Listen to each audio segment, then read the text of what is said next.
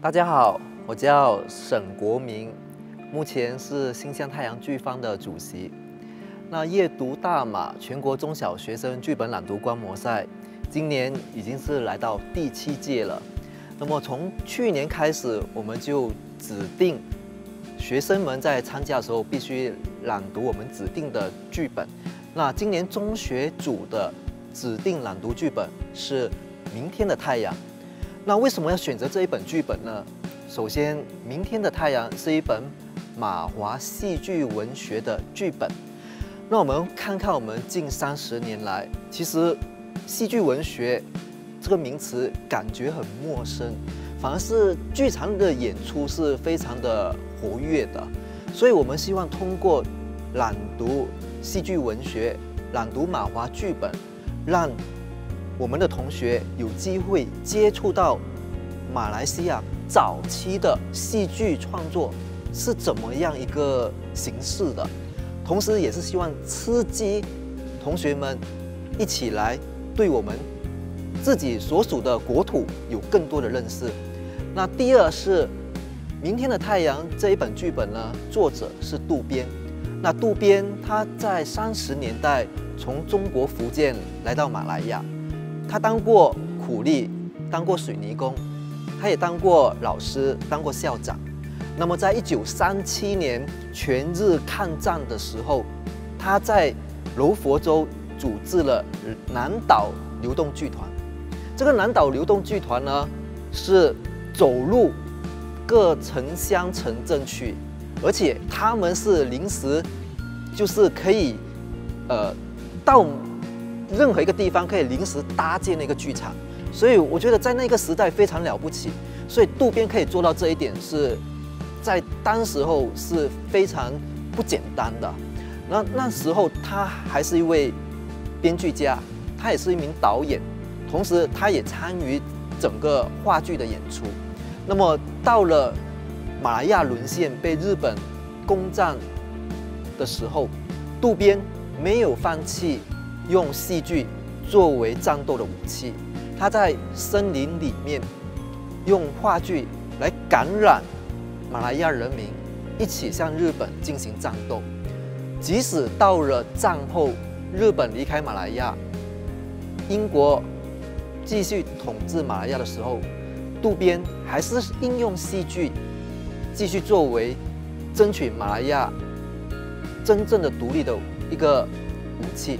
那渡边他在战后也当过柔佛新山宽柔学校的校长，而且还当过柔佛州的呃。司议员啊！那我们了解了渡边的这个生平之外，那我们看看剧本。那明天的太阳这一个故事的背景，就是在呃战后初期。那战后初期那个时局，并没有因为日本离开而天下太平，人民的生活更加困苦，百货高涨，很多人失业。那很多一些原本一些企业家纷纷倒闭，虽然是复兴时期，但是人民还是非常的极度的困苦。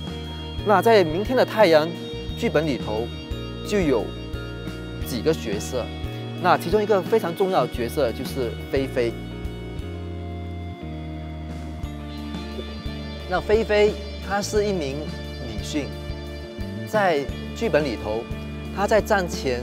是一个受过教育的爱国女青年，但是因为抗战，结果她不得已跟她的丈夫离开了。她的丈夫选择走到前线，向日本进行战斗，只就留下了菲菲跟她的一个孩子。为了纪念她的先生，所以她的孩子取名叫平平。她的先生叫刘平。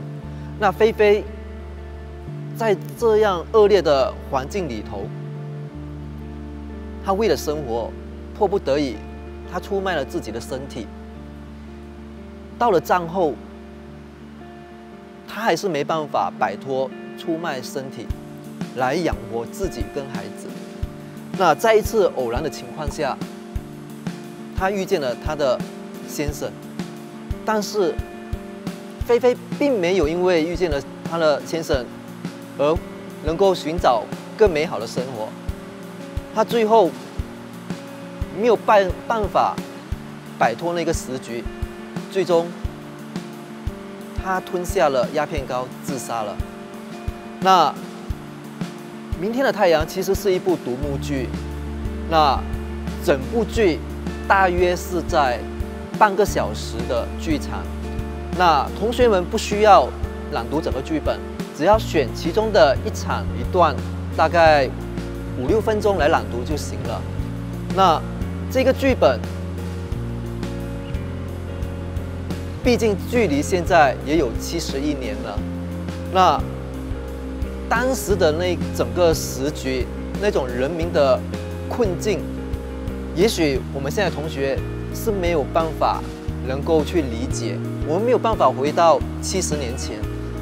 这、这、这个剧本读起来可能也非常的沉重，但我觉得同学们不需要呃，不需要呃把这个剧本看得太过沉重，或者可以用另外一种心情来呃诠释这个剧本。好，我们欢迎呃。来自各个州属的同学们可以组织队伍来参加我们的阅读大马全国中小学生剧本朗读观摩赛。那么，一起来感受戏剧文学的魅力，一起来了解过去我们马来亚人民的人民的生活情景。那或许不需要把它看得太过沉重。虽然这个剧本是相当沉重的，但我希望可能同学们在朗读这个剧本的时候，可以用另外一种视角来理解这个剧本。那非常期待同学们的参与，也希望你们可以尽情的享受在这个舞台上，期待你们的演出，谢谢。